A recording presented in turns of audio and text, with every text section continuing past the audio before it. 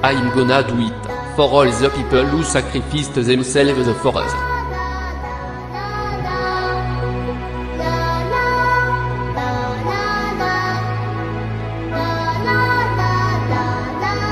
For my family, for my wife, for my dog.